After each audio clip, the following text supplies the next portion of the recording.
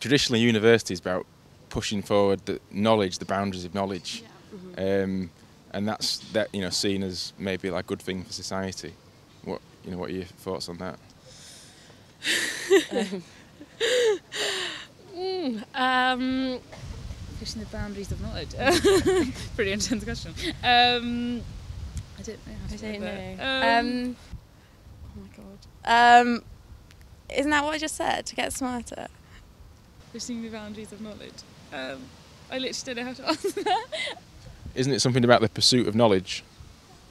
Again, I think it depends what career you want to ca- what you want to do.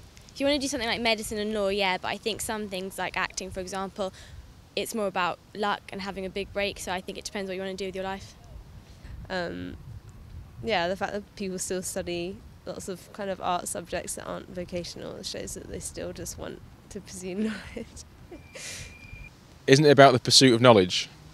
Um, the pursuit of their own knowledge, I don't think they impart a lot of that knowledge. We don't get a lot of contact time for the amount of money we put in.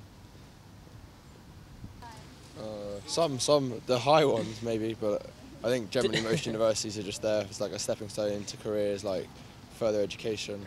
Like the only people who come back and do masters usually aren't people our age. Like usually people who are like 30s, 40s, done well in their Yeah. field. They go back to university, like the big universities, and then they're the ones that push the knowledge. It's not really generally down to the 19 year olds. I think that was all lost, that kind of traditional concepts of unis during like the early 20th century really.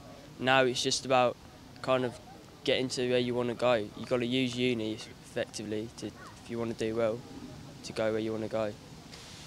Yeah, well, that's that's it, innit? You get obviously at school you're kind of told this is this and this is this, whereas at uni you're there, like you say, to go and find you get the basis information, lectures or whatever, and then you're there to the the, the onus is on you to go away and you know learn, look look online, get journal articles, and make your own mind up about okay, well I've read this literature, I've read this literature, and I agree with this, I disagree with this, and you're there to make your own mind up. Whereas at school it's like a science lesson, it's like this is this that's it, and you don't go away and think, okay, I'll challenge that. So I think uni there is there to you know challenge yourself to think about things a little bit more.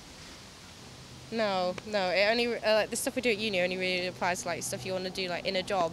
Like I mean, we've just come from a four-hour lab session, and like that's not going to be useful to anything except if you go to a job working in a lab. Do you think universities exist for academics or for students? Um, I'll let you take that one. traditionally, obviously, for academics, but I mean, I, I could, I, I don't know. That's quite a It's a tricky one, yeah. What what does it mean for a university to exi- to exist for academics?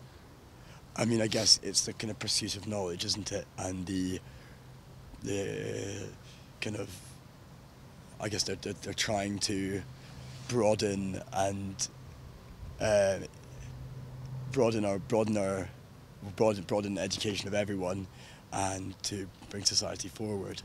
And I guess it's kind of they they still do that to a degree, but at the same time, um, it's very much yeah student experience and students' education. So, do you think universities used to be about knowledge and they're more about just helping people get a job now? And do you think that's a good thing or? I think partly, that, I think that is true, but it's not doing its job. Like I've personally come here to get a marketing degree so I can have a job in marketing myself, or do something around around, around those lines. But people who have come to university in the past may have just come for the knowledge, but people are getting degrees now and end up working in Tesco's. So I think that's why they. I don't know. It's, it's a bit weird. The um, it used to be, I think, that people came to uni for the knowledge, um, but it used to be from people who were like from richer backgrounds. They already knew that they had a, they already had all the contacts sorted out for them. They already knew that they all they needed was the knowledge for it, whereas we we need something else. I don't think of myself as currently processing knowledge. I see myself just now as getting an education. But I mean, depending on whether or not I continue to go into education after I leave university or what happens there, maybe at one point I'd see myself extending or kind of uh, joining the, the, I don't know, the, the, the force for the truth or whatever. you know what I mean?